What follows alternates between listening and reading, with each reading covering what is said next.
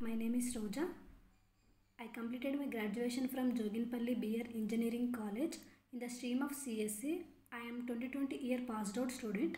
My friend has suggested to be this institute.